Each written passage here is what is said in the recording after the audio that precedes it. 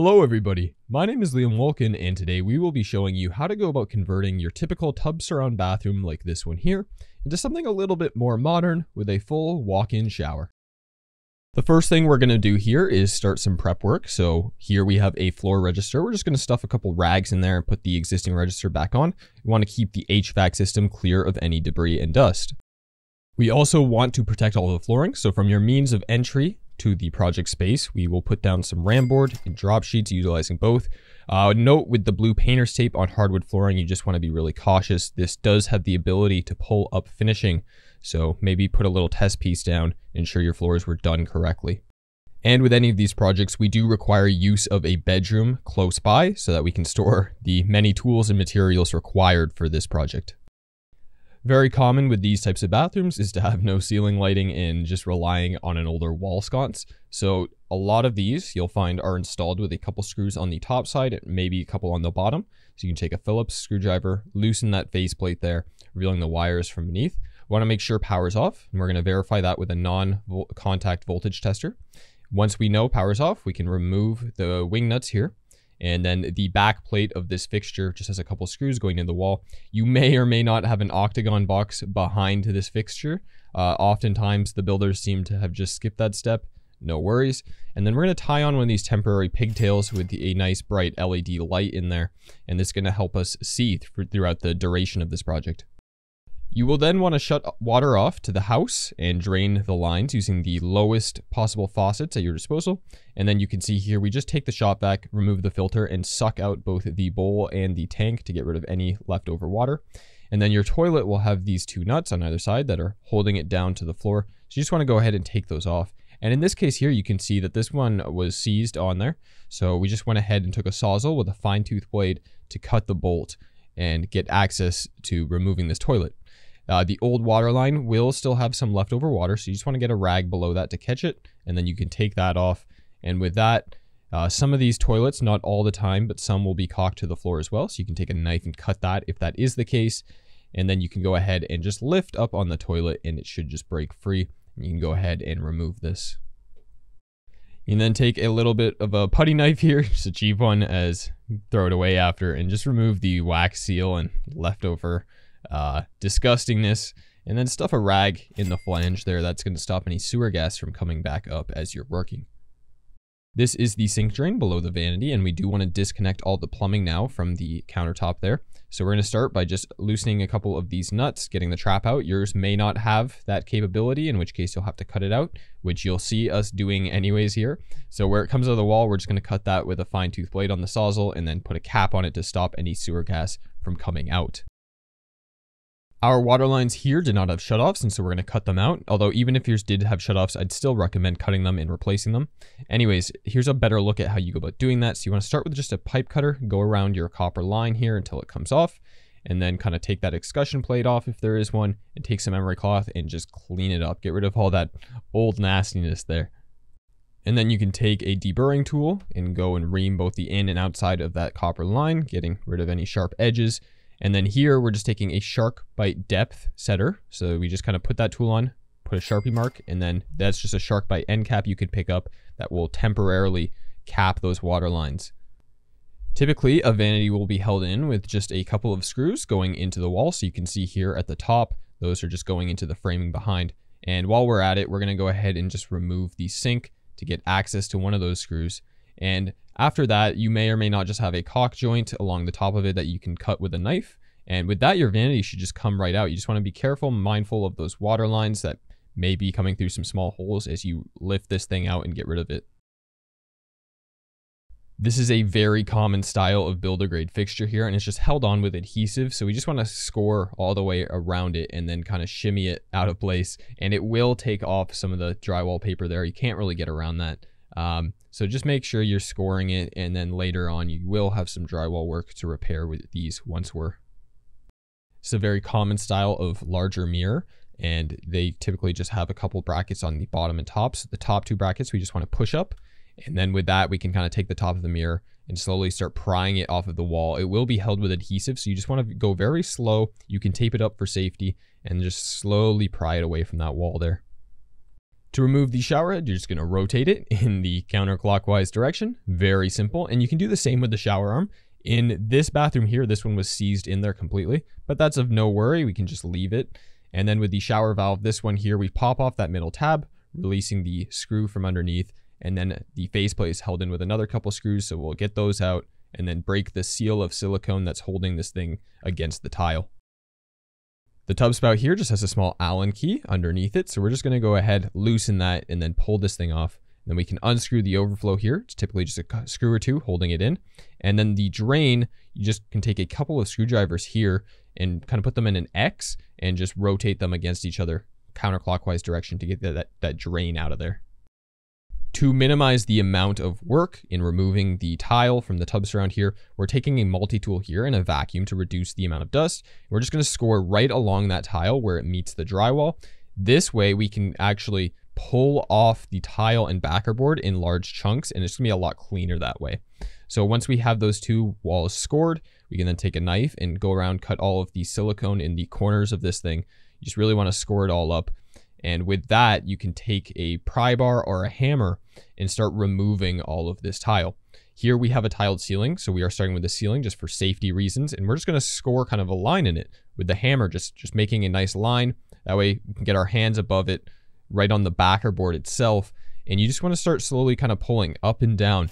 And if it's just drywall, which oftentimes it is with these older style bathrooms, you can really easily pull it loose from its fasteners. Um, it may have a cement board backer, in which case it won't be as easy, but still with the right amount of, of smashing and, and pulling, rocking it back and forth, you can get these out in nice big chunks like you're seeing here.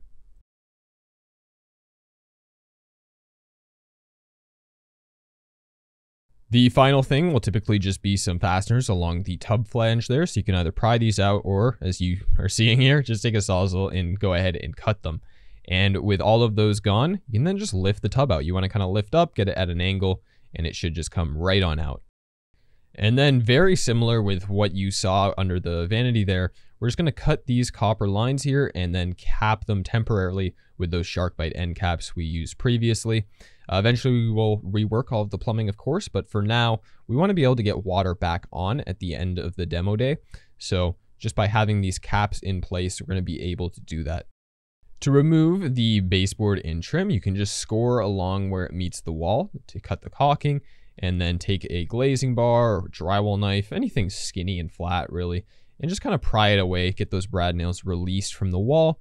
And typically, um, it will be pretty cheap stuff in a builder grade bathroom, so it will fall apart as you do this. Uh, look, you can make a case for reusing stuff, but I think if you're going to all this trouble, you're better off buying new, having a nice fresh bathroom. And then here you can see we're just removing the floor. So all we're using here is a three foot pry bar. Uh, the type of installation that they used here was a lath underlayment. So that's that metal chicken wire kind of stuff you could see. So we just want to take the pry bar and get both underneath the tile and underneath that lath and then just pull up, pull up a section tile by tile, you know, small increments. It may or may not be really bad. Depends on the previous installer. And with a lath style installation, you will have these staples. So we're just taking some side cutters here and just prying them all up one by one.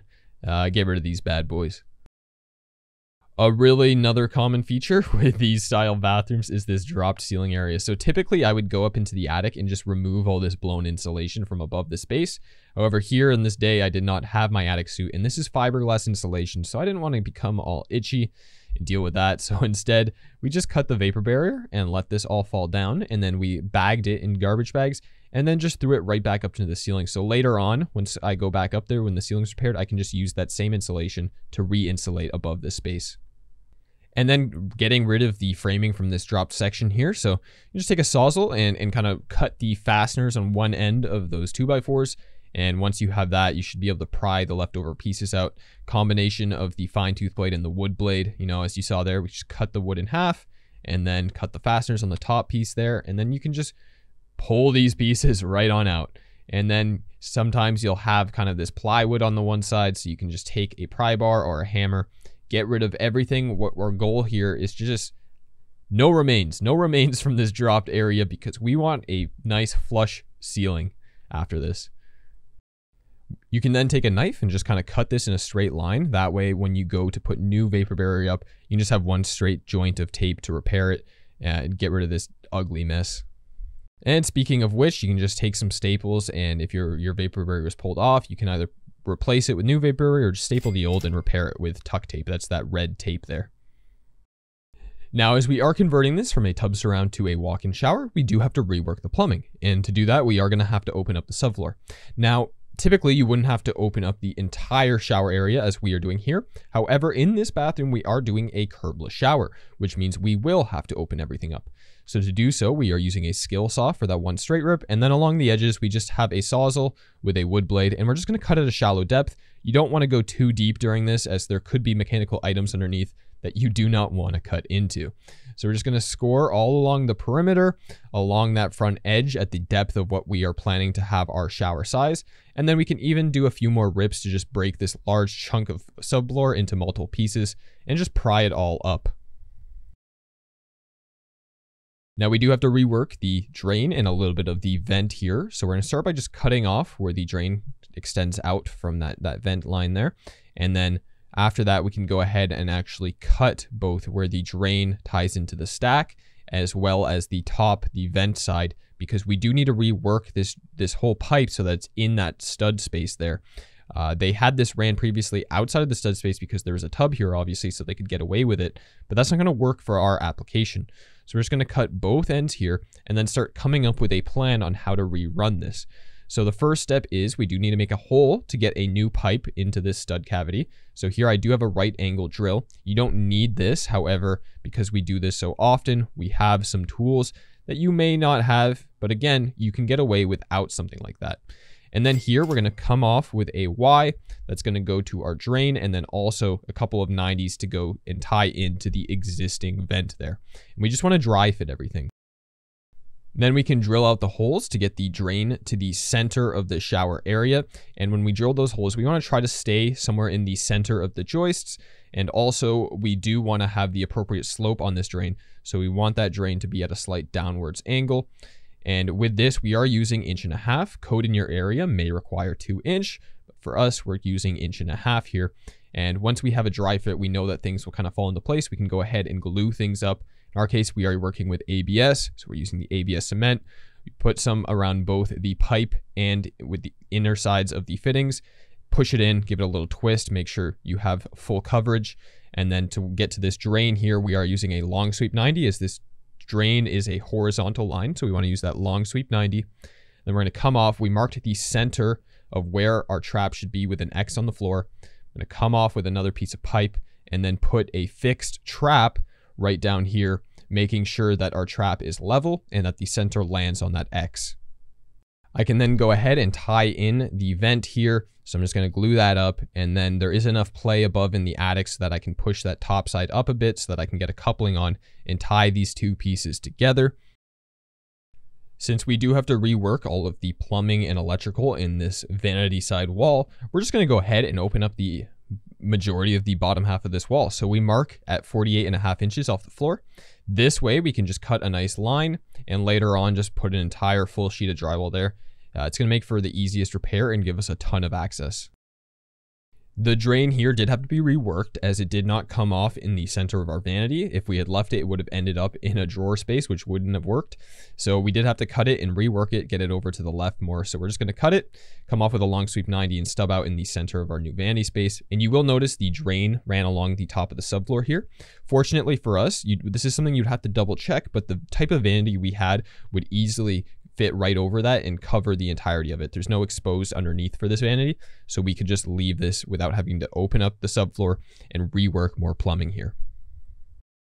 Now this is a you know a reno, so we can't do a typical pressure test uh, to test these drains. However, what we do have here is just a makeshift little system. We adapted to two inch and just took a bucket of water. We run it down that drain and make sure there's no water coming out of any of the fittings. With that, you can start thinking about your water lines and plumbing fixtures, and this is going to be the blocking that we're putting in for all of our shower fixtures. Now, this is a very common occurrence to run into in which there is a stud mounted right in the center of your wall. And for us, it's very important to note that this is a non-load bearing wall, meaning that this stud has no integrity to the structure of the house. So we're go good to go ahead and notch it as you're seeing here. Now, if that wasn't the case for you, you could go ahead and rework your wall. So you could maybe remove the stud, put in a couple more spaced apart so that you have enough room to mount your shower valve and whatever else you may need. However, for us, that was going to be a lot of work. There's plumbing ran through this, electrical ran through it. So it's non-load bearing, so we can just notch it as you're seeing here. It's important to note with shower valves, a lot of them, it will be the case that if you just take a 2x4 and a 2x4 framed wall and put it flat against that backing, as you can kind of see there, that will give you the correct depth of which to mount your shower valve to. But it's very important to double check this with your shower valve as they can be different. So just make sure you look over your instructions to find what depth to mount your shower valve. This long piece of blocking we're installing now, we're having at the front side of that 2x4 cavity. And this is going to be for our handheld uh, adjustable bar. So this uh, shower system here has a long adjustable bar. So we want some wood blocking behind the wall so that we can screw into something solid later on. And then just below it, we're going to mount another 2x4, but this one is going to be at the backside of the cavity. And this we're going to mount a drop ear onto in just a bit, which you will see. And that's what's going to give us our water supply line for our shower fixture.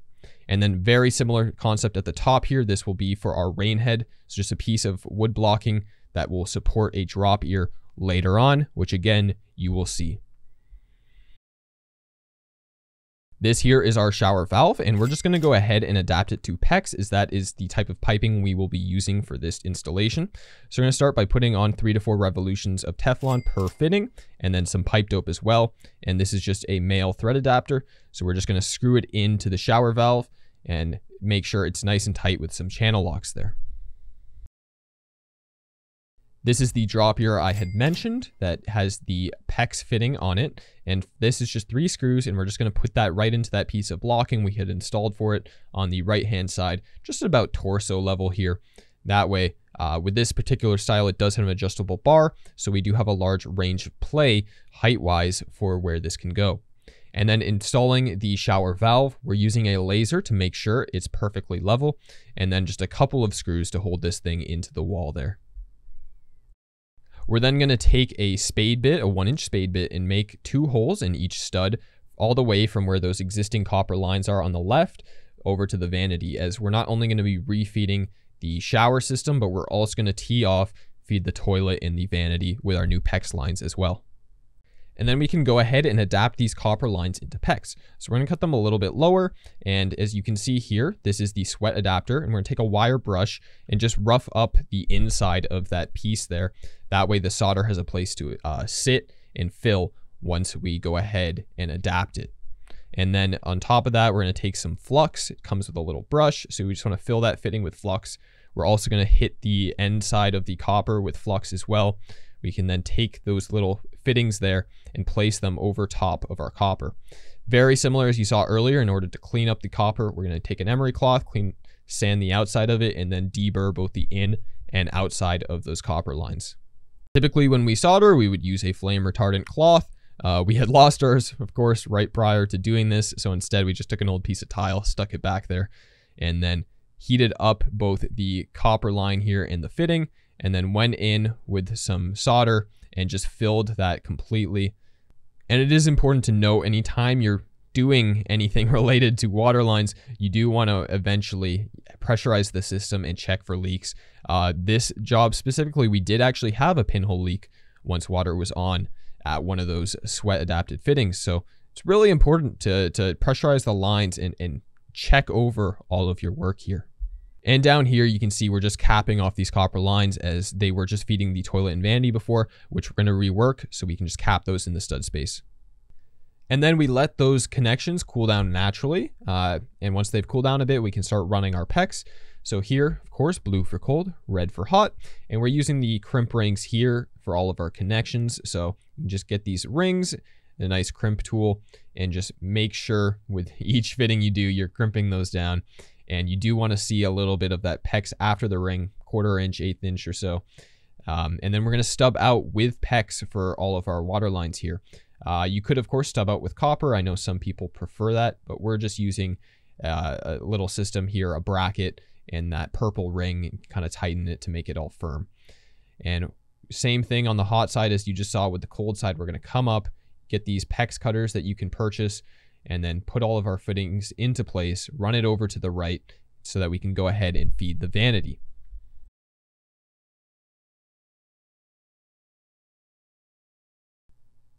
And once again, stubbing out with the PEX. And in hindsight, we should have stubbed these out a little bit higher above that drain as, as they're just a little too close for my liking.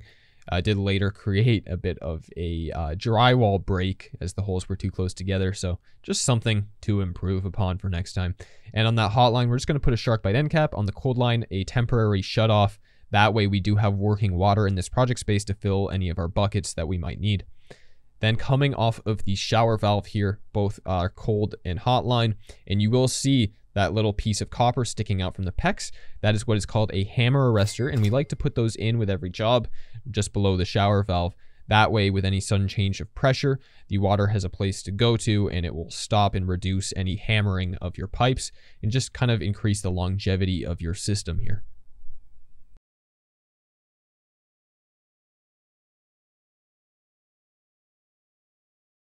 And with all of our supply lines done, we can then just go ahead and feed the handheld and rain head. So similar concept to everything else. We're just going to take some PEX, crimp it onto both the shower valve and the drop ears that we had installed previously. And once we have that all crimped in, another thing we want to do is actually uh, stop those drop ears. So we're just going to take a brass nipple. I think we have maybe a five inch brass nipple that we just thread into that drop ear with a the same half inch sized end cap on it. And that way, once we pressurize the lines, there's not going to be water shooting out from those fittings. And then anytime you've run water lines, drains, uh, you do want to put protection plates over everything. And here's just a brief look into the future to kind of show you what we did, go over it. So we came up with those supply lines, went to the hammer arresters, fed the valve, went down to the drop ear, which is just below that blocking. Same thing, a drop ear at the top for our rain head. And you can see those brass nipples in the drop ears. We're going to tee over Cold line extends out of the wall for our toilet and then straight up to the vanity. And here is how we went about recessing the shower floor. So we are doing a curbless shower, as we had mentioned. So a part of doing this is to recess the entirety of the subfloor in the shower area. Reason being is that to have a properly working shower, we need to have slope from the entire perimeter of the shower area to the drain which means that the edge of the shower pan uh, will be higher than that of the drain location. So to avoid building up the entire bathroom floor to account for that slope, we want to recess the area within the shower. And this is going to create a really clean transition from the bathroom and from the hallway into the shower. So all we're doing here is mounting some 2x4s at a depth of 3 quarter inch we take some construction adhesive and framing nails and just mount these 2x4s into the sides of the existing joist. And you can see we have a little test strip of plywood. That way we can ensure that when we put the plywood on top of the newly installed 2x4s, the top of that plywood is going to be flush with the top of the existing joist. And we're going to do this for every single joist in this shower stall. I also want to call to attention, you can see that green insulation there, that is safe and sound. So it's a good idea. You can put some of this around your drains to reduce any noise from below. Now, the next step here is we do have these cut pieces of plywood that we're going to just mount in between the joists and on top of our sistered 2x4s. We're going to put that down with construction adhesive once again and flooring screws. And we have this piece cut longer than the actual space. That way you can kind of see we slide it underneath the existing subfloor and on the opposite side underneath that bottom plate of the wall. That way we can bond everything together and have it really strong. Now, unfortunately, on this side, the other joist was way too far underneath uh, that wall space there, so we couldn't fasten anything to it. So instead, what we're doing here is we're going to take some carriage bolts and tie this 2x6 into the bottom plate of our wall. We're going to use a combination of construction adhesive, carriage bolts, and number 12 wood screws to fully anchor this piece to that bottom plate and have it well supported. And that's what's going to hold our subfloor. Now, also to note is I did mess up here. I needed to space that 2 by 6 another 3 quarters of an inch. So I did have to loosen all these fasteners, uh, take a piece of uh, two uh, three quarter inch plywood and space that further down. Uh, but then you can see we kind of get another piece of 2 by 4 here blocking and put it on the framing below just to help support that piece even more so. Something else I want to call attention to is the vent there on the back corner. You can see that 90, it is eventually going to stick up past our new subfloor. And this was as expected. Uh, it was the lowest we could get it without completely cutting open the ceiling below and reworking all of the plumbing here. Uh, so the reason why we could do this and have it extend just a little bit past the subfloor is our shower pan is going to be more than an inch thick. So just by notching a little section of our shower pan just half an inch, we are going to be able to fully embed that vent there beneath our shower pan and not have it be an issue. In this wall here, we will be inserting a niche eventually. So for the time being, we're not going to frame it out for the exact niche size. What I like to do with these situations is just create an opening much larger than what we will need. That way, once we have a first wall of tile installed, we can put the niche to correspond with the grout line and it's going to look really clean that way and actually make for an easier time of tiling. So this again is a non-load bearing wall. So I can just kind of chotch that stud out there, nice big section of it, and then just put a couple pieces of wood on the top and bottom for our backing board, which will go in shortly. The current bathroom only had two switches, but we want four. We want to switch for the pot lights, the wall sconces, the exhaust fan, and a towel warmer. So we're going to have to remove the existing two gang box here and add a four gang box. So to do this, we're going to first cut out a hole that will house the four gang. And then we're going to go ahead, label the wires, and shut power off. So you want to hit the circuit breaker that's feeding this bathroom and then we can kind of pry that box away from the stud on the left there and just get all our wires out. And this will enable us to bring new wires down and rework the current electrical system here. You do want to install a couple pieces of wood blocking above the old drywall. That way when you put the new piece in, you can screw them together and that will help prevent any cracking in the future. We are going to replace the existing exhaust fan as well. And to do this, we are installing the Panasonic Whisper fan and with a nice, very sleek, this is the Fit exhaust fan cover, the flush mount. So it's going to get mudded in and it's going to look really clean. All we're going to do is take four self-drilling screws, put that kind of cover and screw it to the edge, the metal edge of that fan there. And then now we can remove the current fan. It's just fastened into that joist there on the side. And then cut out a new location for our fan. So to do this, we're just going to take the sizing of the Fit's cover there and cut out a hole adequate to be able to fit this thing up there. And we just want to make sure that hole we cut out is square with the room. We're then going to install some wood blocking all around the perimeter of this opening. That way, when we go and push the new fan up, we have something to screw it into. And as you can see, you just kind of put it up. I'm up in the attic hooking up the electrical and ductwork while Sebastian's down here and he can just fasten those edges up into the blocking he previously put in there. And while I'm up there, I'm going to rework a lot of the electrical. So Sebastian is going to hand me pieces of wire and I'll just take them and I'll run them down the wall to feed the switches here. So you can see I'm up above and I'm just shoving that wire down a hole in the top plate of the framing. Sebastian will grab it, he'll label what it is, and then I'll put it to the other end where it needs to go. So in this case, for example, can feed the fan, tie it together. So black to black, white to white, ground to ground, make the connections, close up this box, and you can also see the insulated duct that I did connect to the exhaust fan as well. I would strongly recommend picking up one of these Tyvek suits if you need to go in an attic, as when it has insulation like this, it can be very itchy. And here's just a look at that ductwork connected to the fan, and then you can kind of see where the electrical wire will eventually get ran and down that wall there. And we're just going to do the same thing for various locations. So this one here, we're to run a new wire to feed the wall sconces. And when it comes to wall sconces, I do like to just leave the wire coiled up in the stud cavity and we cut it out once the mirror is in place. That way you can perfectly center those boxes. And a wire here. This is an 18.2, a low voltage cable. This will feed, we're gonna have some niche lighting going in. So for now, we're just gonna run this wire down, leave it in the niche space, and the other end of the wire will go down to the vanity where eventually a driver will power it up. I'll eventually release a full in-depth video on this process if you are interested in learning how to add accent lighting to a niche.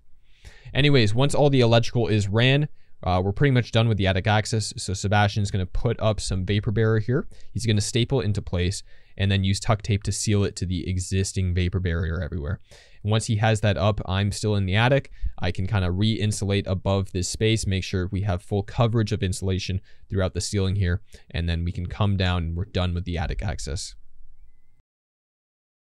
This is an option you can consider doing yourself, although it's absolutely not necessary. This is uh, Rockwool's Safe and Sound, sound dampening insulation. So it's very itchy to work with, so I would suggest wearing a suit if you're going to be working with it in a respirator, of course. You're just going to cut it to size to fill all these cavities. Uh, you know, since we have walls open, it's a nice little detail you can add that will help dampen the sound leaving this room and provide sort of a more luxury and, and private feel to your space. In terms of the electrical, I am using metal boxes. It's my preferred method. Uh, but again, you can absolutely use a different style. Uh, these ones here are gangable boxes, meaning they come in that individual one device style size, and then they can be modified. And in this case, I'm using the retrofit ones that they have the ears and I'm just going to combine them to be a four gang switch box. I'm then going to tie all of my wires into this box here and then just get it into that wall space there. And you'll see the ears of this box, that's the uh, parts that extend on the top and the bottom. They kind of sit tight against the drywall. There's a couple of clamps, they're called F brackets that kind of go in there and hold the, the, the box tight into that wall cavity. Again, you could absolutely, especially if you're in the States, you'll probably see those blue boxes I believe they're plastic or PVC maybe. And they do have a retrofit style one. So you could just buy a four gang box, three gang, whatever you have for your needs, put it into the space. And for here, you can kind of see I just marretted all my neutrals together, put all my other leads in the back of the box, and then tied in a temporary line onto a temporary switch so that we have working light for this project. And this here is what will eventually be the feed for the towel warmer. So this Romex here, this wire goes from this box location here over to the switches again, and just a single device box. Again, you can use one of those blue retrofit boxes if that's more popular in your area, but I'm just gonna shove the wires in this box, secure it to the wall, and then leave it for the time being. For the ceiling here, this is 5 eighths inch drywall to match what was done with the existing ceiling. And so we are using inch and 5 eighths coarse thread drywall screws just to secure it to the existing joists up above, as well as that blocking we had installed earlier to join both the existing drywall with our new piece. And again, that's going to help prevent any future cracking. And for this piece here, which we had taken out, we're using half inch green board. And we're just gonna drill out, mark all the locations for our stub outs. So that's the water lines, the drain, and the electrical down at the right-hand side. That's what's gonna feed the LED lights in the niche, the accent lighting there. We have to put a driver uh, behind the vanity here. So we're just gonna get this green board into place and it's just raised off the floor. You can see we have a slight gap down there and we screw it into the framing. And then we have to start repairing any of our drywall or at least prepping to repair it. So here we're just sealing the brown paper here uh, just priming it. And we're actually moving away from this product as we found it didn't do a great job this time around. So using maybe a shellac based sealer for any ripped paper in the future. And then any caulking like that that was left over, we could just knife off there. And then little holes like this one here, we can just put a uh, piece of wood blocking behind it, cut a new piece of drywall out, and just fill any holes like this one here.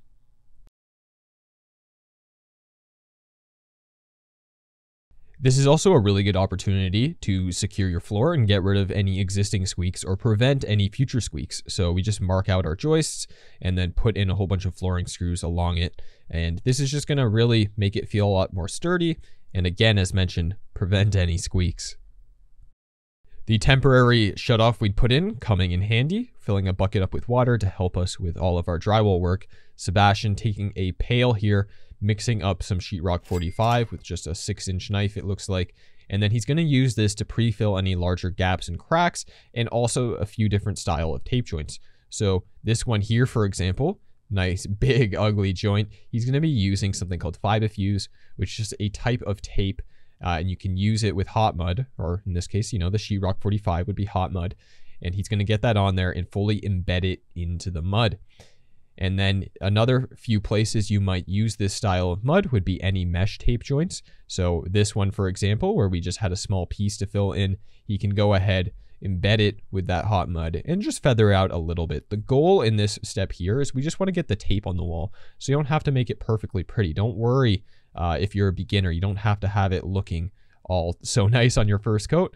This might take you five coats to get really nice, or even more than that, okay? Don't worry about it. Don't stress about getting it perfect. We just want to try to smooth it out, feather it out as, as best you can, and then just let it set up and dry.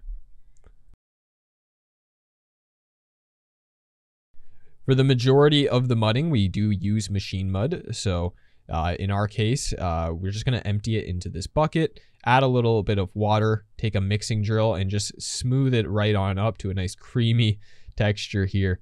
And then uh, the reason why we put in this bucket is, of course, we can just get a lid on it. So after we're done with it, we just put the lid back on. And that's going to keep it so that every day you can just open that bucket up and start mudding away. Do a coat a day.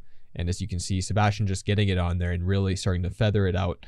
Um, and with each day, he's going to feather out further and further. When I was in the attic earlier on, I did leave some wires up above the ceiling for the pot lights. So here I just took a four and an eighth inch hole saw, drill out a hole in the center of this shower space here. And then I'm going to pull the wire. I'm actually fishing over from a previous hole at the closer side to the door there. I'm going to bring a wire over and then that way we have a temporary light in the shower as well. And we can start waterproofing it. So this here is Kerdi board. It's half inch thick. And it's a really nice system to use and work with, very lightweight and very easy to install. And as you may have saw, very easy to cut. So here you can just kind of mark it and it does have these nice, uh, like a grid on it. So you can just kind of cut along that grid, take a knife, score the front, break it, and then score the back. It's that easy. And you do get these little washers as well. And we're just using drywall screws with these washers in this case. We're to put these washers and screws, you know, every foot or so where two boards meet like this, we're just going to take washers and put them right over that, that joint there. Um, just going to be a nice little trick there to get it in. And as you can see, you know, you don't want to overdo it with these washers. We do want to recess them so that it's, it's kind of, uh, just beneath the top layer of the board, but we don't want to overdo it. We don't want to clamp them all the way down because this is just foam, right? It will just keep going and you can pull right through it if you overscrew them. And then on this side here, we just have a few little things to cut out. So shower head, uh, shower arm there, and then the uh, the valve. And it can all be cut with either a knife or a multi-tool.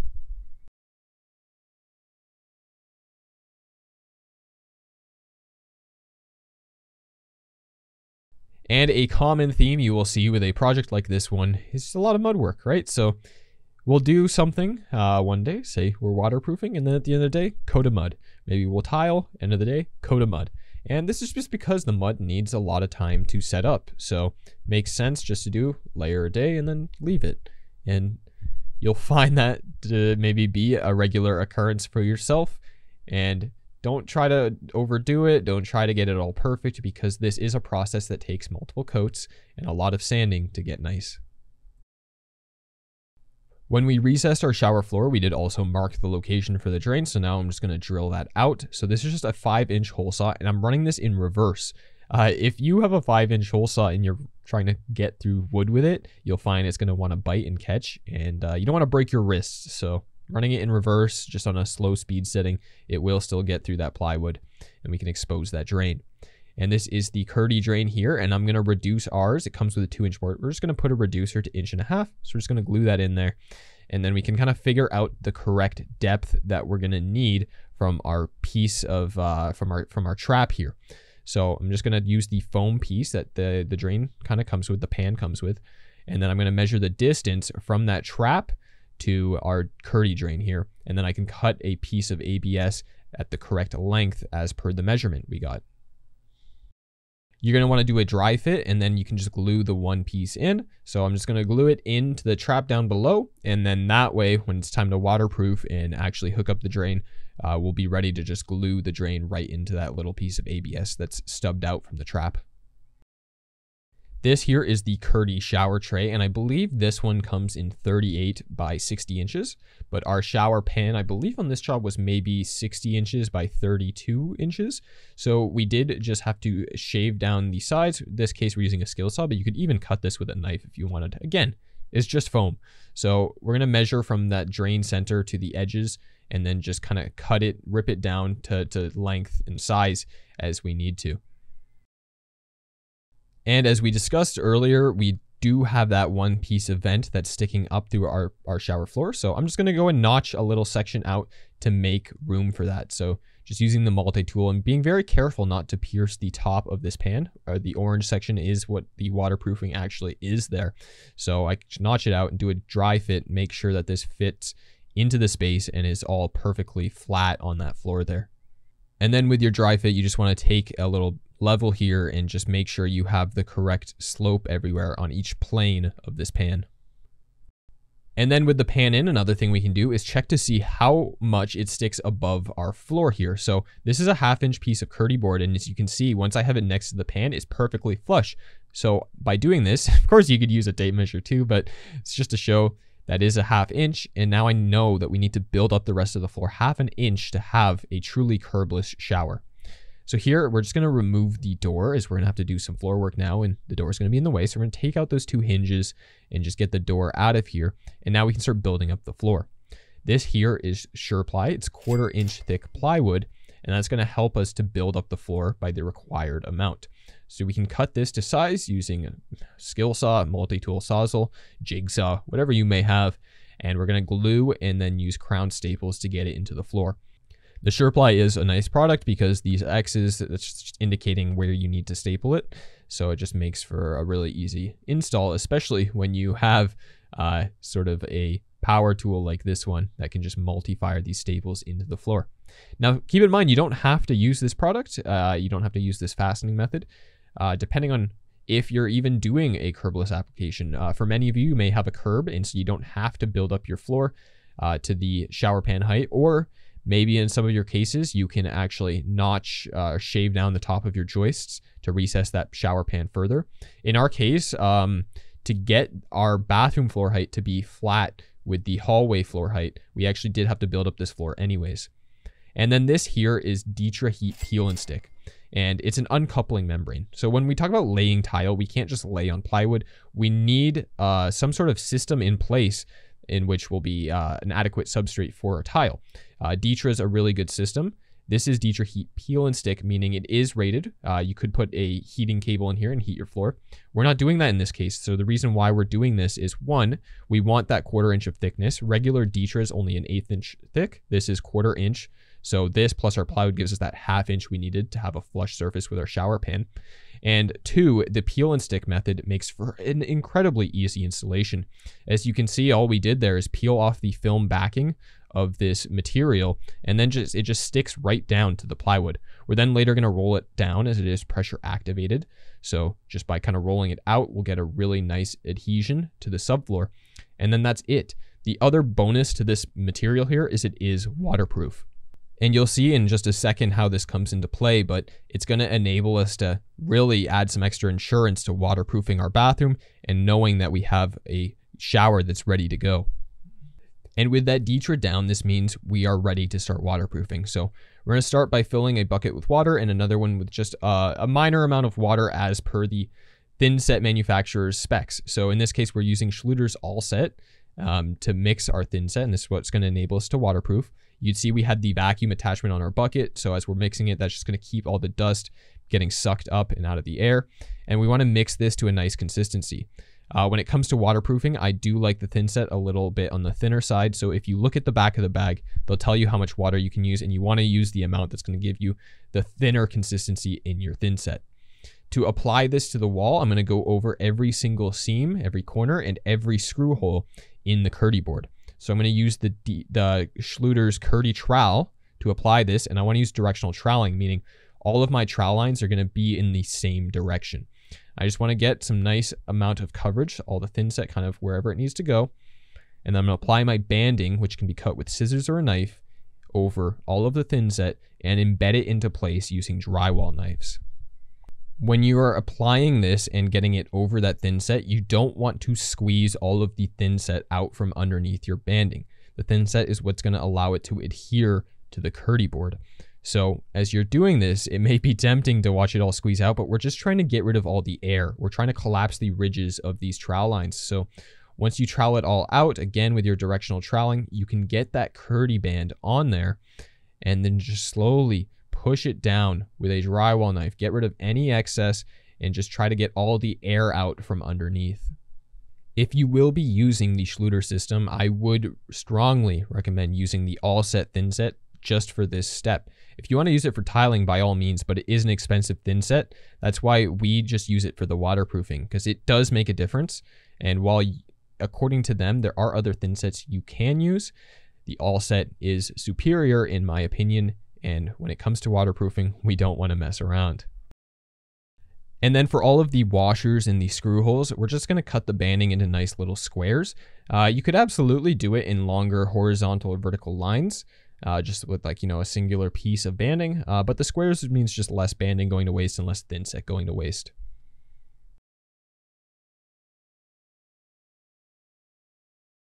And then with the walls done, we can put the pan in. So again, just a little test fit, make sure everything's still good. And then we can wet our substrate. So here, the plywood, we just want to get a little bit of water in it. That way it's not pulling all the moisture out from the thinset.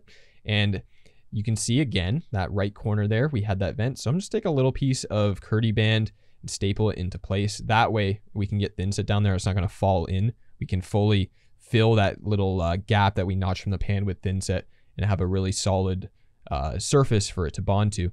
And then here, just using a quarter inch square notch trowel, again, directional troweling for the entirety of this pan here. I'm gonna get that foam spacer into place, glue up the Kerdi drain here, and then glue up the tailpiece sticking out of that trap, push them together. That's gonna bond it into place. It's gonna sit into all of that thinset. And then I can go ahead, get the pan, put it into place, and just tamp it all down. I'm just gonna do the little shuffle here to fully embed it into that thinset. For any corners you may have, they do make these inside and outside corners. So you can just go ahead, trowel out um, the three different planes and then embed your corner. Use two drywall knives, one to hold it in place and one to collapse those ridges, get all the air out from underneath.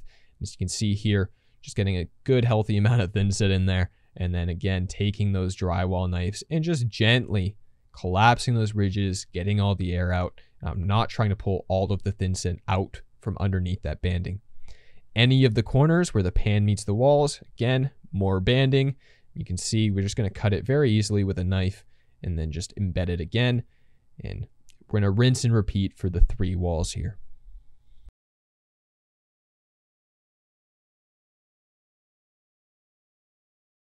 When it comes to the two walls here that's going to reach outside of the shower area, we're going to go ahead and extend the banding even further past that as this is a curbless shower. So when we think about what that means, uh, when we have a shower, the grout will eventually allow water to penetrate it, right? And it will find its way to the shower pan below the tile. And there's no curb to contain that water. So while the pan is sloped, the majority of the water should find its way to the drain. It's not impossible for water to wick upwards over time. So by embedding some banding well outside of the shower area, that's just going to ensure us a little extra layer of protection and extend uh, just how durable this shower install is. And around the drain too, you will be provided with one of these collar pieces. So we're just going to trowel it out just like everywhere else and embed this uh, kind of donut shaped Kerdi band into place here. And the last piece of waterproofing for this application is just going to be where the uh, Ditra meets with the shower pan. So we're just going to same thing, trowel out over that line there get a piece of banding, and we're going to go from wall to wall. Once again, the Ditra is waterproof, and this way we have a completely watertight install.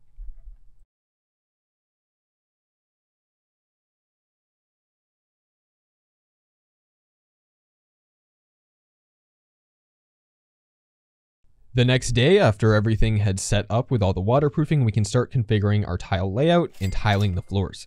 Now, in this job, we are going to be using a large format tile. We're going to use that not only for the bathroom floor, but for the shower floor as well.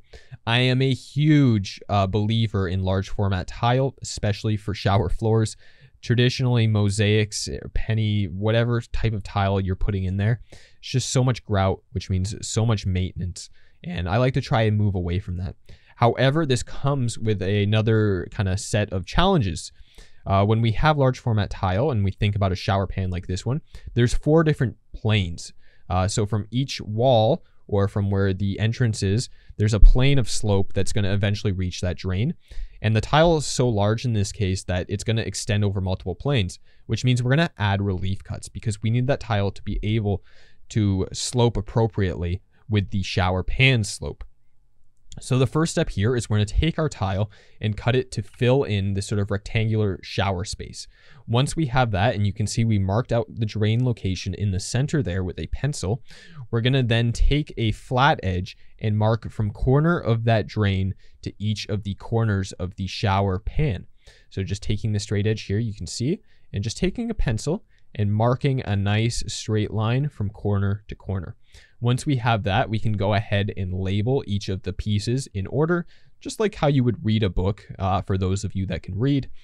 And this is going to help us uh, put the pieces back in later on as you're going to have quite a few pieces to all fit into place and they're going to have very specific places. So we had all our lines marked now. We can just take it to the wet saw here and just cut along every single pencil line. And I would recommend, I think if you're going to be attempting an envelope cut, which this is called, um, I would recommend maybe going out and renting, uh, you know, a nicer wet saw for at least this part of the job. For the majority of cuts, you can get away with, say, a snap cutter and a grinder. Uh, but I think when you have exposed cuts like this, I personally have always found that I, the best results I can get using a wet saw.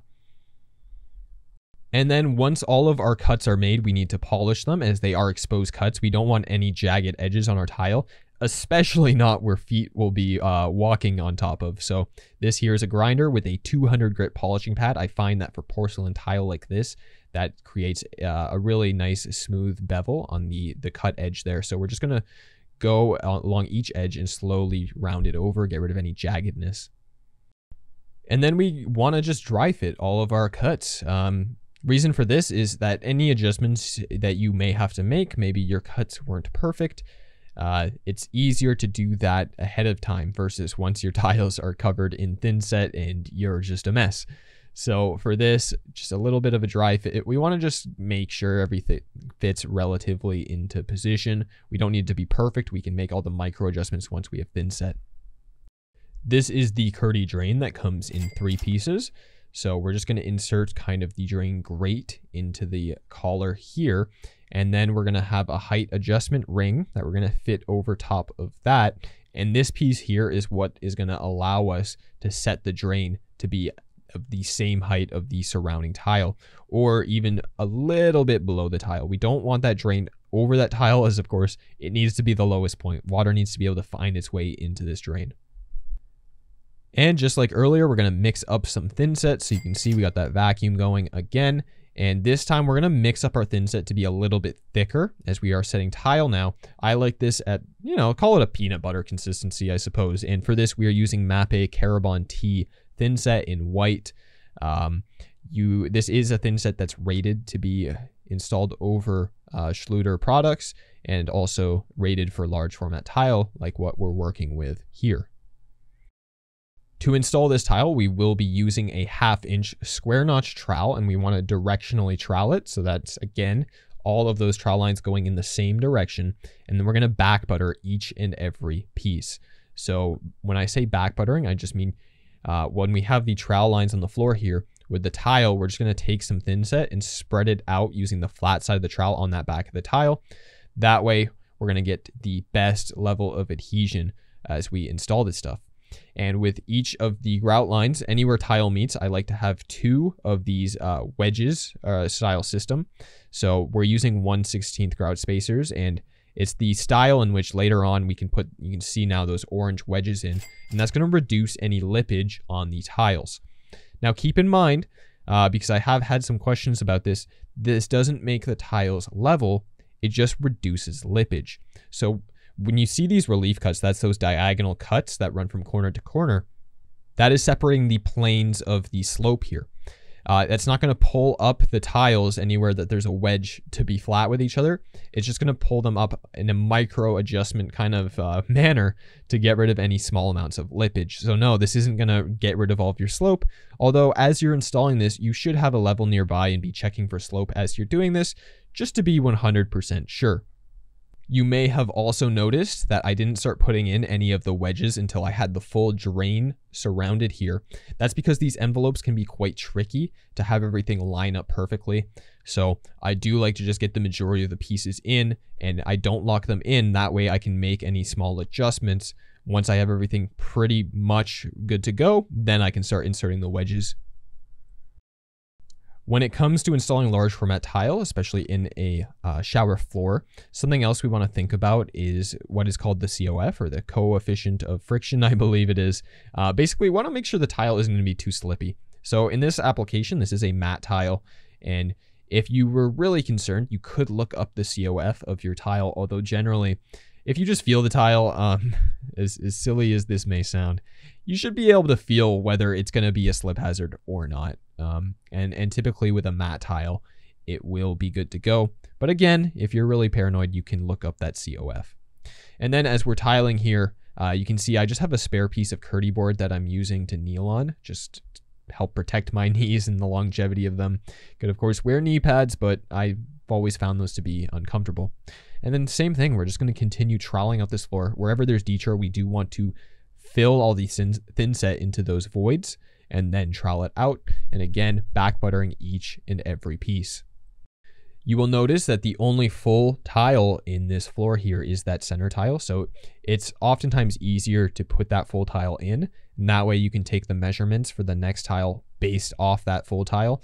So for example, with that right tile there, we installed the full piece, took a tape measure, measured from edge to wall, edge to wall, cut the tile, and then we could insert it into place. And when it comes to say the toilet cutout, all you can do there is first you cut the tile to the length, and then you'll mark the drain location. So you take your tile, measure the center of the drain, and with a toilet, I believe it's a seven inch diameter. So you just want to make a, a, circle, seven inch diameter, and then just cut it out with a grinder. It doesn't have to be a perfect circle. It will be hidden with a toilet eventually. So don't stress too much about having it be all pretty like that.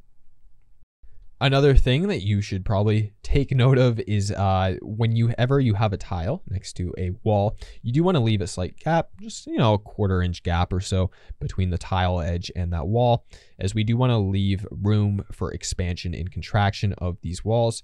And anywhere where we get a little tight as we're doing this, uh, because it is just drywall, you could always after the fact, uh, maybe you cut your tile too big you could always just notch the bottom of that drywall out a little bit too, worst case scenario. Uh, but again, it's just easier to cut it a little bit shy uh, for the most part here. And then once we get to that door, we're just going to take a spare piece of tile, uh, put it right up to that door jamb, and then this way we can undercut the door jamb. So when we come to tiling this section, we can just slide the new tile right underneath that door jamb. And speaking of the doorway, typically we like to have our transition happen under the closed door so if you picture the door being back in place, we want that tile, the grout line, the edge of it to end right under the midway point of where the closed door would be. This way, afterwards, we can take a piece of hardwood flooring and have the transition just be perfectly hidden under that door. The next day, once it's all set up, you can come in, remove all your wedges. This is a lot easier to do the next day. Although, say it's a Friday and you know you don't have time till Monday, you can wait till Monday. The thin set will just be a lot harder at that point and a little bit trickier to clean out of any grout lines, but it can still be done. So here we removed all the wedges just by kicking them out. You could also use a rubber mallet. And then any thin set that's kind of uh, left in those grout lines, you can just take a knife and just kind of score it out. You want to be gentle with this. You don't want to chip a tile and you don't want to cut into the waterproofing below, especially. And then this here is the fit uh, floor register, the flush mount. So we just cut our tile uh, very precisely to size of this kind of black uh, piece here. And then we can screw this into the metal surround from that ductwork. And if you're a beginner, I would probably stick away from this as you do need some pretty precise cuts for it to end up looking good. Um, but it is a nice product uh, for sure if you think you are up for the challenge. And then we can go ahead and cover our floors. So this is just brown paper. We're going to use painter's tape to adhere it down to the porcelain tile. And this is going to protect our tile while we're doing more tiling, mudding, painting, all that fun stuff. Sebastian here with the Festool drywall sander. It's hooked up to a HEPA vac, so there's just absolutely no dust, hence why we can do this without a door on the bathroom.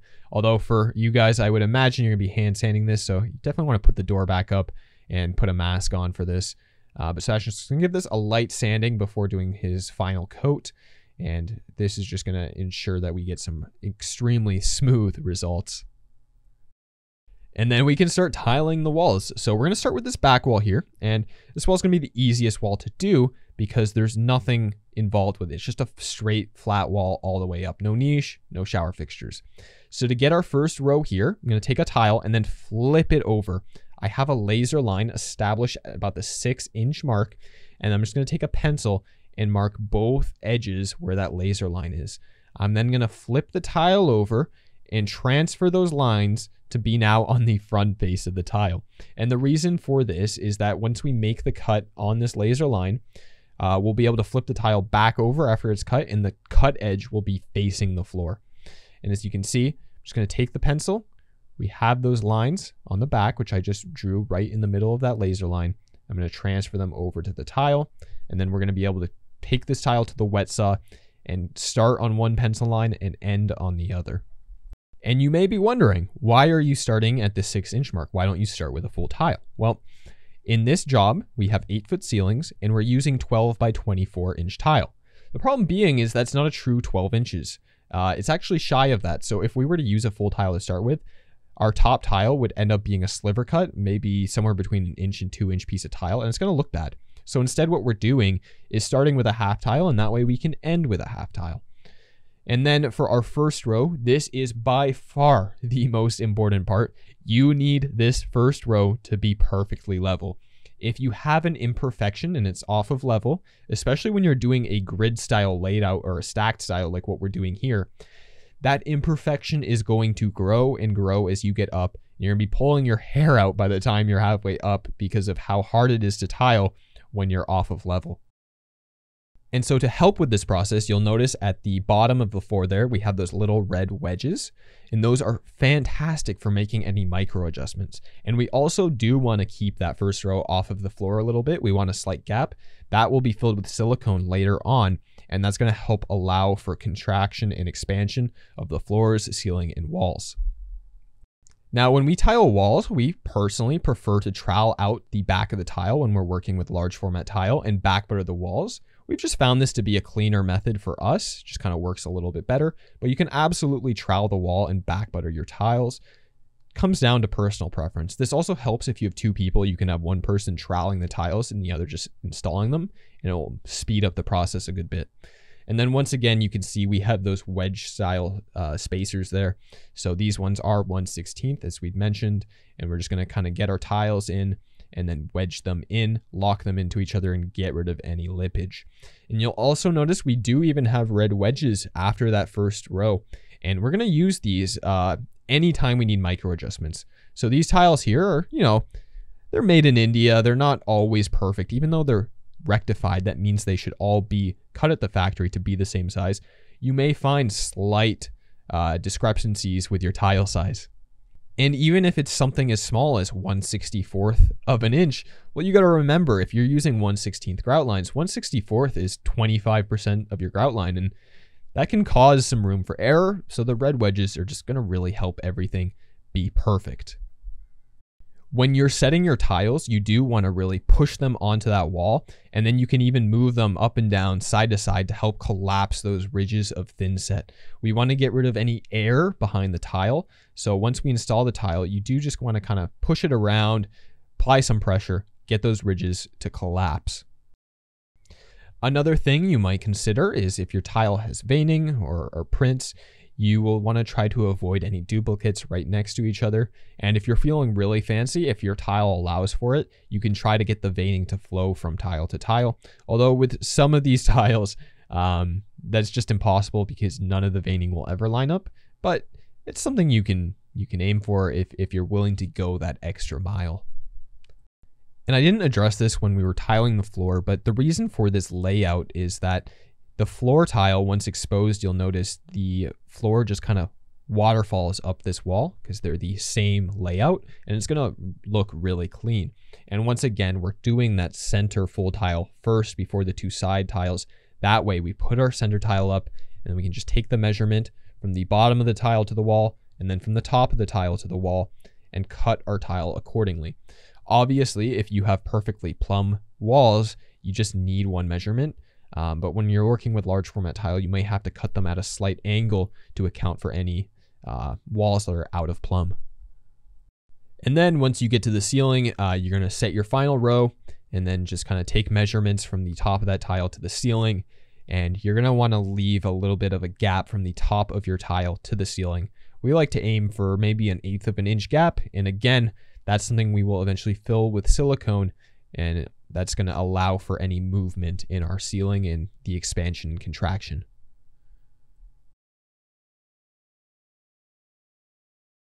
So with that back wall done, we can now kind of frame in our niche here. So you can see I just shot the laser level across that grout line there at about, you know, belly height, let's call it. And then this way I can cut out my niche so that the bottom of the niche will run alongside with that grout line. And that's going to create just a nice clean look with our tile and also an easier time with tiling. I'm then also going to establish the grout line uh, just above that. In this way, we can put in our divider for our niche because we are doing two here and I can make sure that that one corresponds with the grout line as well. This is the 28 by 12 prefab Schluter niche, and I use it to make uh, just trace out the kind of the, the square rectangle on the wall there, cut it out with a multi-tool, and then I can install backing all the way around this so that I can uh, easily fasten the niche into position. I'm going to make a couple holes and poke the low voltage wire through those holes, and that's going to connect the uh, accent lights later on. And then just like installing the Kerdi board, we're going to use those washers and screws, fasten it all into place, and then waterproof every single uh, one of those seams there. So same thing with the uh, other waterproofing we had done using the Kerdi trowel, getting that thin set on there, flattening it all down with a drywall knife, and just getting good uh, amount of overlappage onto both the niche and the Kerdi board. And then with the niche in, we can tile this wall. So what we're doing here is we're gonna have a full tile on the left-hand side and then the cut tile on the right-hand side. That way, because we have a cut tile on the finished wall in that corner already, it's gonna kind of give that appearance of that tile wrapping around. And then we end on a nice full tile. It's just gonna be the cleanest look in my opinion for how far we extend that tile. I want to go maybe anywhere two, three inches past the grout line that defines the shower pan kind of space. And that's going to give us plenty of room once we get our glass in here and, and have something to uh, mount our glass to. So anyways, we're to start very similar to the other wall. Uh, we're working that full tile up first. Once that full tile is in place, we can take the measurements off the edge of it to the wall there and then cut another tile and just work our way up this wall, back buttering the wall, troweling out the tiles, collapsing those ridges, wedging everything together. And then once we get to the niche, we can go ahead and cut our tiles for the niche cutout. And the way we do this is I'm actually going to cut the tiles to be just a little bit past the edge of that niche. We want them to overhang the niche by maybe a 16th, eighth of an inch. That's just going to give us a little bit of a safety net to make sure that when we come to when it comes to finishing this niche, we can have the uh, best possible results here. And then to get the divider piece in place, and again, this just comes with the niche. I'm just gonna uh, embed the sides and back of it with thinset and just push it into place there. And uh, then work my way up with these tiles, just continuing to go on up. And I can kind of mark out the cuts for this. So for this tile here, I have to make an L cut. So I just marked it with a pencil line uh, where it was necessary. And we can just take the wet saw and go uh, and make a nice square here. And with the wet saw, you may find you're not able to fully uh, cut right to that corner. Uh, so for this, what we do is the majority of the cut with the wet saw, and then we might take it outside, get the grinder, and just finish off that cut. When you have some cut similar to this, where there's only like a two inch piece at the bottom there, you want to be extremely careful as this tile is just wanting to break on you. Something else that's nice to have, although not necessary when you're doing niches, is uh, clamps. And a lot of clamps are reversible. So like these ones here, just kind of reverse them and that's just going to help support that little divider piece we put in as it is only sitting there with thin set. Now, the type of thin set here doesn't really sag a whole lot, so it should be good without these clamps, but just a nice little extra safety net that you can use if you want to. And to give you a better look at this, so you can see, I'm just gonna make a pencil line kind of at the outside edge of the niche at the top there, and then another line corresponding with the tile it's already cut. So the two cuts will be at the exact same height, and it's gonna look uh, nice and clean this way.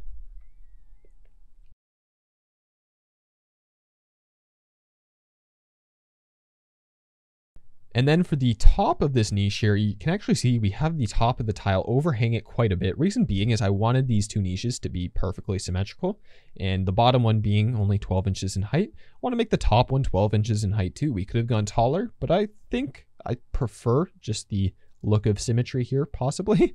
Um, so anyways, we're just going to have it overhang and then later on, once this is set up, we can get some extra Kerdi board and just kind of fill that gap uh, at the top of that one niche there.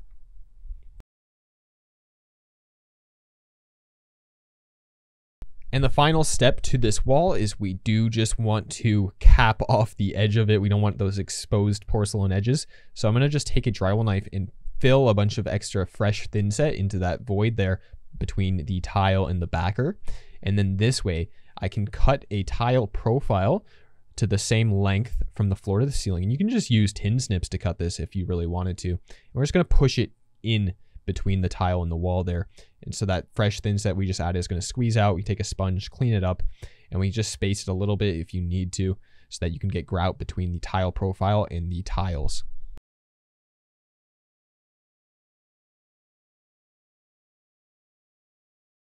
The next day, you are now ready to remove your clamps if you have any and any wedges. Uh, for this, you would want a rubber mallet. It's what we would typically use. Don't know where that went this day, so instead just using the back end of a screwdriver, smashing these out of place, and then any leftover thinset in the grout lines again, just a, a knife, and you don't want to go too deep with it, but just gently scraping out any dried thinset. The final sand here so Sebastian with the Festool getting this all nice and smooth. And when it comes to final sand, again, I wouldn't expect you to have a tool like this. So you will be hand sanding, I would imagine. It's gonna be extremely dusty. It's gonna be bad. I'm not I'm not gonna sugarcoat it for you. It's gonna suck. So uh, you know, just wear a mask, uh, sand away, and it'll be over before you know it. And after that, uh, we can go ahead and prime. So any new drywall in any mudded areas, we just want to hit with the primer. This is Sherwin-Williams Cover Max. It's a great primer. And we're just going to hit all of that new stuff. This is the inner part of our tileable floor register um, that we kind of showcased a little bit earlier on. So middle part, I just like to fill up with thinset. I drill a few holes in the back of it, and then I take the piece of tile and I just put it into there and squeeze down eh, into it till it's flush with the edges, removing all that excess thinset. And as you're tiling, you might want to consider having a toothbrush on hand to clean out grout lines as you go. Uh, it's just easier to clean out wet thinset than dry thinset, and a toothbrush is great for that. When it comes to finishing niches, there are three primary ways I would say. Uh, the first being what you're seeing here, these threshold pieces, just a man-made stone. You could even use quartz, I suppose, or, or another stone. And you just want to do kind of the uh, the bottom, top, and sides with the stone. And then the back, you could either use an accent tile or the same tile as your wall tile. The other method would be uh, to tile the sides and then use tile profiles um, on the kind of the edges of those. And then the third method would be mitering your tiles and in terms of difficulty, it is in the same order I just listed them. So this is actually our first time doing sort of this threshold finish. It was at the client's request. And I must say, this is by far going to be your easiest method. And I see this one done a lot with, uh, especially like subway tiles. I see this a lot. Um, and it's just, you know, it's, it's a nice, simple way to finish off the niche. You just take your threshold pieces, you're going to cut them to size, and in our case, these ones did come with a bevel, so we did have them just extend a little bit past that wall tile so that the bevel would start with the wall tile and then kind of end just a little bit past it. And we're just going to give those bottom pieces a nice pitch outwards. We want it to any water to fall into the drain. And at the top side there, you could just see a couple of aluminum tracks. That's what's going to house those LED lights. So we just want to put that in the top corner. And then when we do this, I'm not troweling out with thinset. I'm just getting a nice big glob um, on the entirety of those pieces. That way I can push it into place and I just want to watch all that thinset squeeze out there. And I know that way I have 100% coverage. But more importantly is I'm able to manipulate the piece uh, however I might want to. Uh, when it comes to finishing niches, you know, you have to be really precise with your finishes. So getting the right uh, pitch and slope and having everything line up is really important. And again, you'll notice these red wedges coming into play here. Uh, spacing, making micro adjustments as we need it. And something we did here is you'll notice that back piece of tile, I did continue the grout line um, that were flowing through these niches into that. As traditionally, that's how we would do it if we were finishing uh, um, a niche that was done with tile profiles or mitered edges. As I like uh, the look of that continuation of the grout line. I gotta say though, in hindsight, looking at the threshold pieces, they kind of break up that grout line, and I don't think having that grout line in the back of the niche was necessary here. So I think maybe if you're considering doing a niche with these threshold pieces, uh, and you do have grout lines running through it, you might want to consider leaving that step out of it, but I think that does also come down to personal preference. And then again, once you have everything pretty much wrapped up, you just clean it up, get the toothbrush in there, wet damp sponge, get all that thin set out of there. And then the final wall here, this is pretty much the, the same as uh, previous walls were. Uh, the only exception to this wall specifically is you will notice that we're troweling out both the back of the tile and the wall. Reason being is we did have some imperfections with the, the, the plumbness of this wall, let's call it. And to work these out, we're just kind of manipulating the amount of thin set we have in certain areas to account for that. Now, I think if you're a beginner in your tiling, and especially with large format tile, uh, it's better to address these issues at the framing stage. So if you need to, you can alter, uh, maybe plane down some studs, replace them, sister them, um, all sorts of different things can be done. You can even wet shim. Uh, you can look into wet shimming if you have really bad walls to get some nice plumb flat walls. But in our case here, um, we have run into these issues before. So by manipulating the amount of thin set in certain places, we are able to kind of correct any minor issues with the imperfections of our existing wall, let's call it.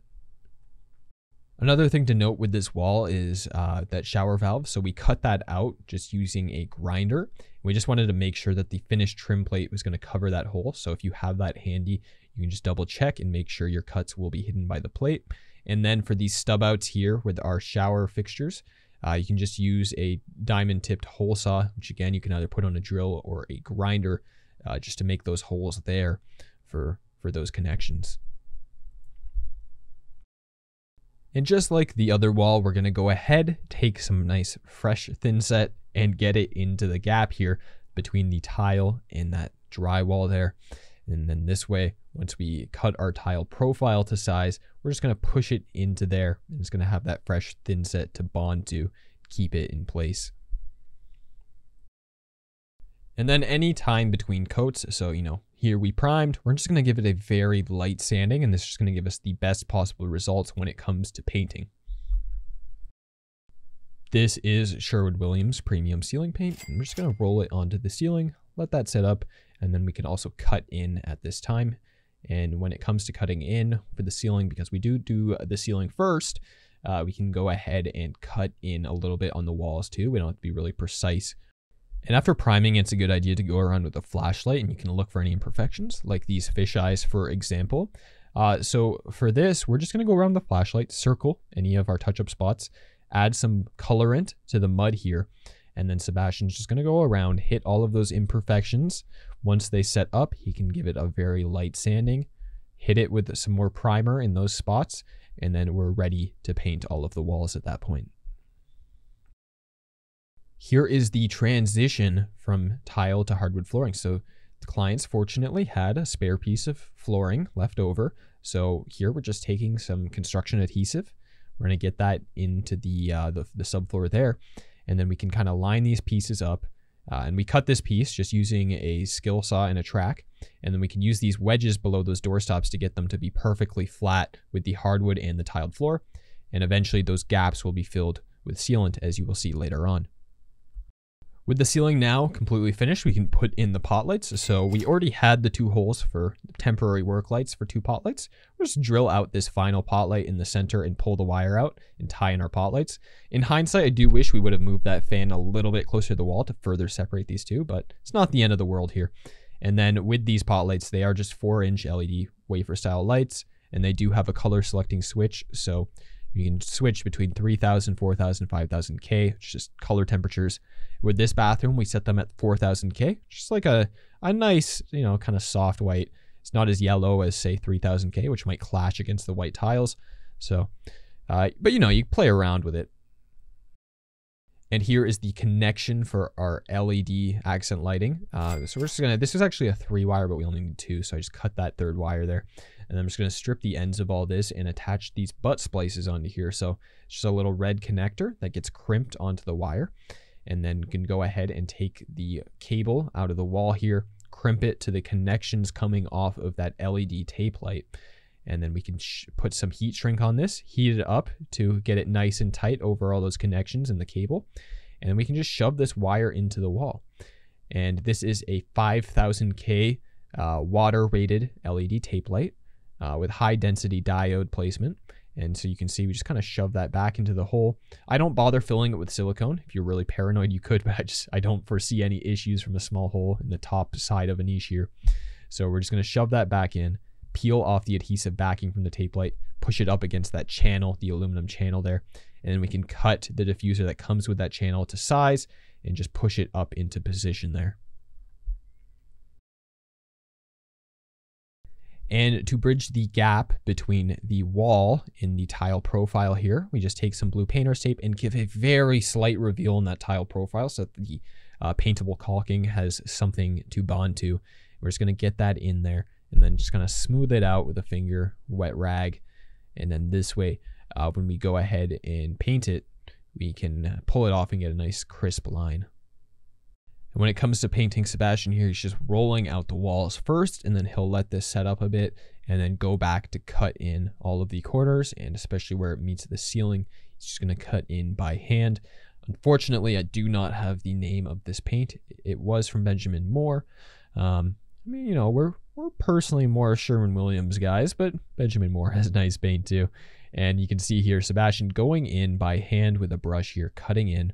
And then he's going to back roll. He just has a little hand roller there. And that's going to reduce the amount of brush strokes. And once he has the paint over this joint here with the, the caulking, he's going to pull back that painter's tape to get a nice crisp line revealed there.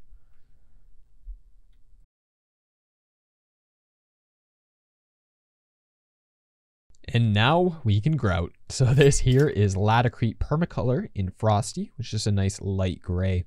So we're gonna put it in the little bucket this time, again with the vacuum there, just a small amount of water for this. And we're gonna mix it up with a small drill and a small mixing paddle on low speed. Uh, once we have it all mixed up according to the manufacturer's instructions, we can go back with the grout float and just start embedding it into all of these grout joints. You wanna push it into each joint and then just work it off uh, get all the excess out of there. And we're just going to work our way in. This whole shower, the three walls, maybe took 10 minutes to do. When it comes to large format tile and, and you know 1 16th grout joints, it's just not a lot of grout needed. So you can make short work of this. Um, and when we talk about grouting, there's something called grout haze that can occur. So if you were to grout and then leave it and not clean it up in time, a haze could uh, kind of set up on the surface of your tile, which becomes really challenging to clean. Uh, it, not to say it's impossible to clean, but it will require a lot of elbow grease and you'd be surprised at how hard it can be to get this stuff off. So we want to be careful with timings here. So for us to do this whole bathroom, probably had it grouted in about 20 minutes, if even. So by the time we did the walls and then finished off with the floor, the grout had set up enough on the walls to give it its first wash. Um, so you'll see here, we're just going to work our way out from the bathroom floor. And again, the elapsed time I would probably say is around 20 minutes. And so then we can get back in there, just a couple of damp sponges. And when I say damp, I mean you want to wet these and then wring them out so that no more drops come out. And you're just going to kind of work off any of the excess grout at a 45 degree angle. So just kind of move that sponge over those grout lines gently. We don't want to take the grout out from the grout lines, so just gently taking it off the surface and getting it mostly clean. We're still going to have a little bit of leftover haze, but that's okay. So we're going to let that sit for another hour or so. It really kind of depends on the temperatures of your room, the grout you're working with, and what the manufacturer spec it for. But you see, after some more setting time, come back in here with the microfiber cloths. One of them's dry, one of them's just a little bit damp. So I'm mostly using the dry one, but any tough areas where the haze is set up a little bit too much, I can hit with the damp one uh, just to kind of loosen it up and then once again go over it with the dry one to fully clean those tiles. And a good trick if you want to make sure you got all your haze, you can just kind of look if there's any existing lights in the room, try to look at the tile at different angles and you should be able to very clearly see the haze. And then to finish off this transition, we're going to take a color matched silicone. So this is Latasil in Frosty, the same color as the grout. And we're going to fill that, that gap between the flooring there and the tile. And we want to use silicone for this. If you use grout, it will crack out. It will fail. Do not grout this gap. Okay. So use the color match silicone there and then just some brown caulking between uh, the old hardwood and the new transition piece there. Just kind of fill it up and then clean it all out there. And as we were grouting, we were not filling any of these corners with grout because we wanted to make room for this silicone here. And once again, this is the color match silicone. I'm just gonna lay a nice bead in all of the change of planes. I'm gonna spray it with some soapy water. So that's just a little spray bottle with water, a couple spurts of hand soap in it.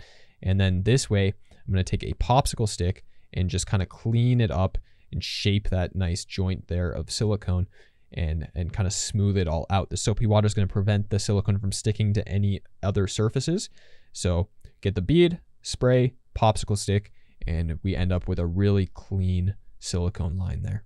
And we're going to do that again for any change of plane um, and including the insides of the niches.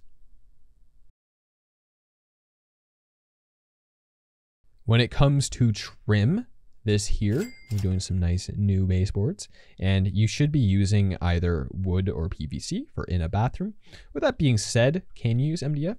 Sure, you just have to make sure it's properly sealed and it's not going to be getting soaked down. So if you have kids, you know, may especially not want to try it, but um, I think if you wanted to use MDF, as long as you're sealing the bottom side, and maybe there's even a conversation to be had about siliconing where the bottom of the trim meets the tile floor, there's definitely a conversation to be had around that, but your best bet's to just use real wood or PVC here.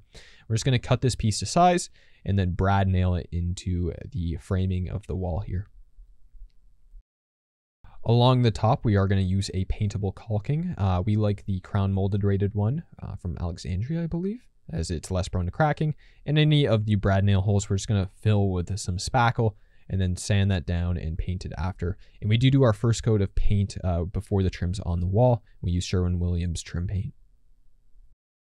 So before we get the vanity in, we do just want to get these shutoffs on these water lines. It's going to be much easier to do now versus working inside a tight vanity.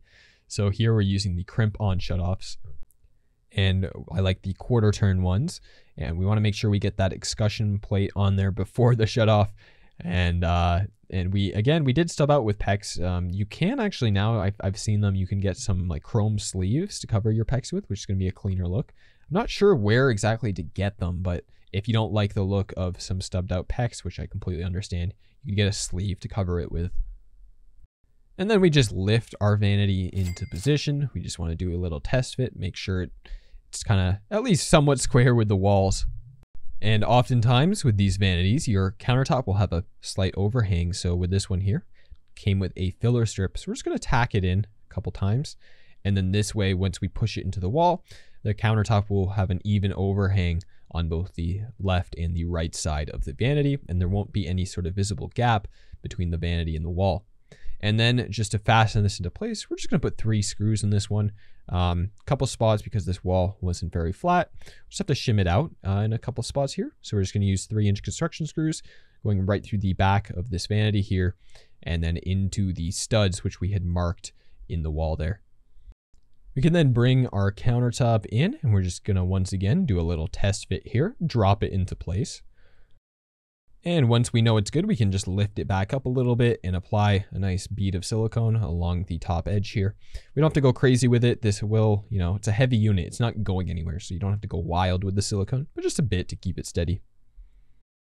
And then this one does have both a back and side splash, so we're just gonna, again, nice globs of silicone to adhere these pieces to the wall. And then where stone meets stone, we're gonna use white silicone as it's just a white countertop and we're just going to apply beads. And just like we did in the shower there, uh, we're going to apply a nice bead, soapy water, and then popsicle stick it out to a nice smooth uh, and even bead. And where it meets the wall, we're going to use another bead of paintable caulking for this one. So silicone on the stone, caulking where it meets the wall, and paintable so that later on we can touch it up and uh, paint it a little bit. And if you have a really large gap, if your walls are really bad, you may want to put some backer rod in between the backsplash and the wall to strengthen that and prevent any future cracking. In this case, it wasn't too, too bad, so we were able to get away with just the caulking. And then where tile meets ceiling, just some white silicone and similar process to the other joints with the silicone. However, I have found based off of previous jobs, this is the area that's by far the most prone to cracking. I believe it's probably because it is an attic above. There's a lot more movement, I would imagine. So with this now, we've just started doing a little bit of a larger joint of silicone than elsewhere. So for here, instead of a popsicle stick, we're still using a popsicle stick, but we just kind of cut it at a 45 degree angle to have a larger gap and then we can put in all these shower fixtures. So this is the uh, rain head bar here. It's going to three to four revolutions of Teflon and then some pipe dope. And then with that, we can just take out the brass nipple that was in place here, screwing it counterclockwise. And there'll be a little bit of water in here because we did uh, pressurize the system. And then we can screw in the shower arm so that the uh, it's nice and snug. We want to get that plate to cover the hole and then have it pointed down. And then we can screw in the rain head. And with any shower fixtures, you might want to look into something called a flow restrictor valve. These, uh, you know, you could maybe remove them to get better water flow. Uh, but you didn't hear this from me, and I won't be showing you how to do that. But just maybe something to look into for you there. And then the handheld unit here, again, removing that brass nipple. And then you can pick up uh, these brass nipples uh, and they come in every half inch increment. So I believe the one that worked here was maybe three inches. So we take uh, the, the nipple, test the size. Once we know it's good, we can uh, put Teflon and pipe dope around both edges, put it into the hose adapter piece, which is this black piece. And we just want to snug it up with a pair of channel locks. And we're going to screw it into the drop here that's behind the wall here until it's really nice and snug. And then this fixture was really nice because it has this screw so that we can adjust the height of it or, or the depth rather. And it has a gasket behind it. So it's just to pull itself right against that tile and the gasket's to compress and just be watertight.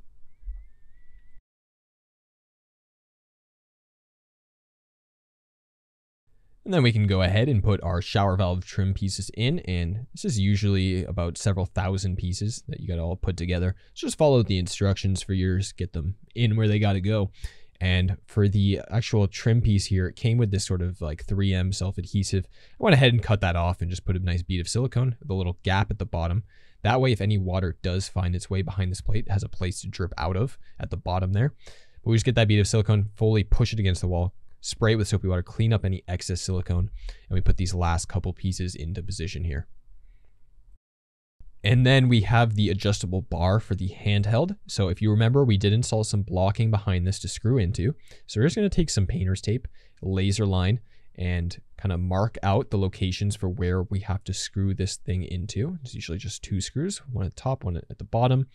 And then it's just a quarter inch diamond bit for the grinder we drilled those holes with. We filled it with some silicone and then drove some four inch screws, wood screws, uh, through the handheld bar here right into that wood blocking. For the mirror, we're to center it with the sink. So we're just to take some measurements off of that wall to the right there find the center of our sink, transfer that measurement onto the wall. And with this mirror, it's just two screw holes. So we're going to find out the location of those and then mark them accordingly on the wall. Height wise, typically you want your mirror, center mirror to be about eye level, but really that depends on the type of mirror you're working. Um, another kind of thing you can play around with is the gap between the backsplash and the bottom of the mirror can keep that somewhere around four or six inches. Oftentimes looks nice, but a lot of this is going to be personal preference. We didn't catch a stud with ours, so we are just using these easy anchors. I like the nylon ones better than the metal ones. So we're just going to sink those into the wall and then drive a couple of screws in and just have those extended out maybe quarter to half an inch. That way the mirror, the two holes in the mirror can just rest on those screws and that's what's going to support this thing. And now that our mirror's in, we can drill out the holes for our octagon boxes. So on the right hand side there, we just kind of centered the box from the mirror edge to the wall and then transfer that same measurement over to the left hand side, reached into the cavity and pulled out the wires where we had left them in place. Then we can install our mounting boxes. So on the right, we're able to get a full size octagon box into that, which we just screwed into a stud, which was right there. And then on the left, we did land on a stud, which means we have to use a pancake box. Now, you really want to only ever have one cable in your pancake box.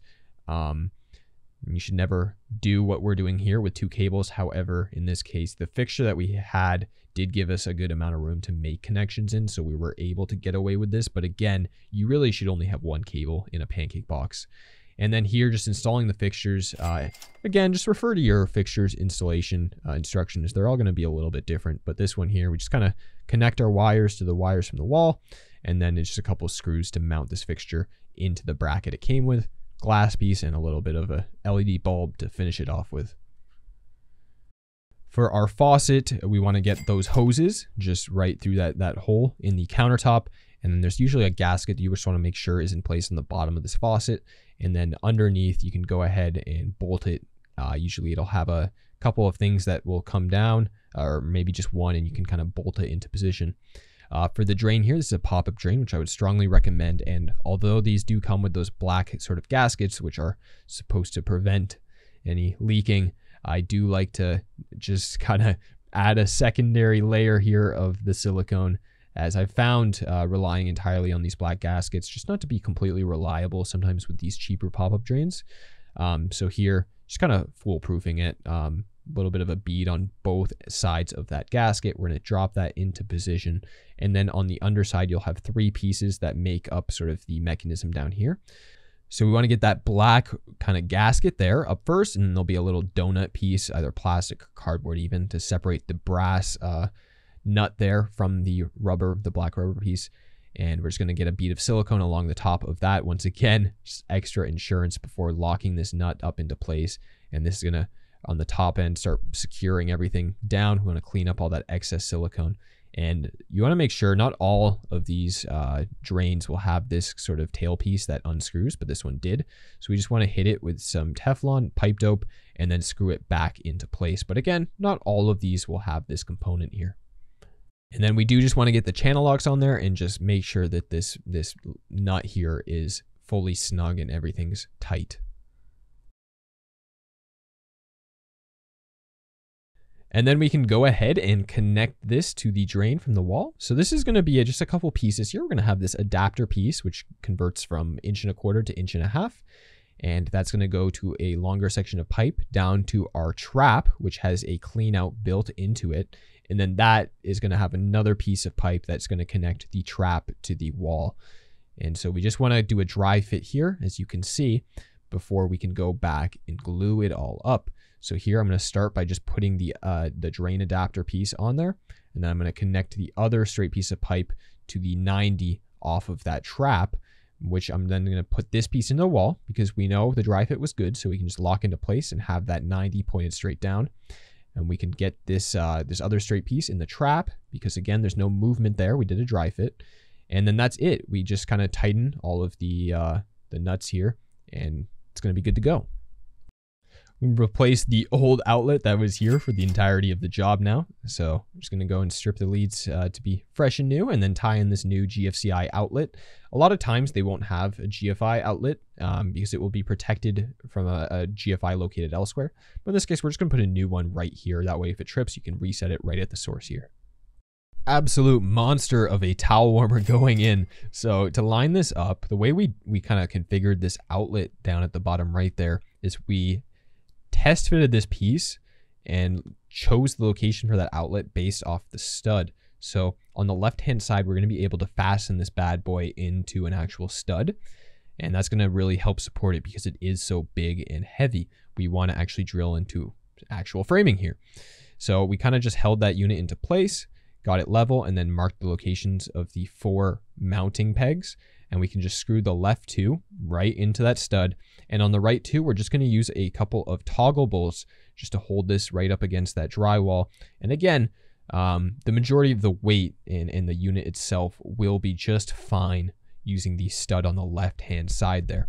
And once we have these four pins locked in tightly, we kind of hold it into the rough position here, make the electrical connections, and then get all these connections back into that device box screw the cover plate into position, and then with the four mounting pegs, It's just a, a little Allen key that we can tighten to make sure that this thing doesn't come out of its position.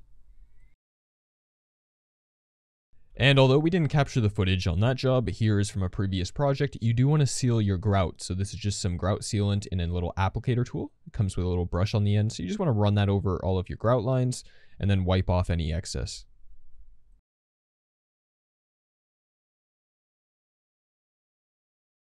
And a reminder as to what we had before and what we made it into. So a few things we didn't quite capture in this video the toilet installation as well as the glass installation. As far as the toilet goes, it's a pretty straightforward process. Uh, plenty of videos here on YouTube you can check out if you need some help with that. And for the glass, it is custom glass done by a third party. We prefer custom glass because it is a much higher quality product, but you can absolutely go to the store and get a kit and install it yourself. And again, plenty of videos on YouTube if you're interested in learning how to do that. With ours, you will notice the black bar at the bottom of the slider. That is because of the curbless application. It's just going to help maintain any of the water within the shower pan. And we opted to put that piece in, although it's not necessary. We do get our glasswork DFI coated, which is very similar to Rain-X. It's just going to help the water just bead off of it, which leads to less maintenance, although we still recommend having a squeegee in the shower to just reduce the overall amount you have to clean it. And if you're still watching, I assume you got some sort of value out of this video. You know, it is a long one. And if I could just maybe ask you to hit that like button on your way out, it would be very much appreciated. Thank you guys. And here are the totals, and this is the material cost only. This does not include taxes or labor, okay? If you're wondering, typically at this moment, we're currently pricing our labor at around 4500 Canadian a week. But that's just currently, and that's just my prices. That's not the contractor local to you or even other contractors in my area. That's just my price. Anyways, thank you again for watching. Really appreciate it. And if you're watching this, I assume you have a project coming up, in which case I wish you the best of luck. Bathrooms are tricky. Uh, I'm not going to lie to you. They incorporate a lot of different trades and require a lot of different skill sets. With that being said, it is something that you can do yourself. The first video on this channel is Baby Me doing a bathroom with no prior knowledge. And I made it happen. It was tough, and the work was nowhere near as good as what we can do now, but it worked out. And if you're thinking about taking this project underway, you're taking the right steps so far. Make sure you watch all the YouTube videos, every last one of them, mine and others, and have a lot of patience. It's it's a tricky beast, but it, it is one that you can do. Anyways, guys, thank you, and I hope you have a good day.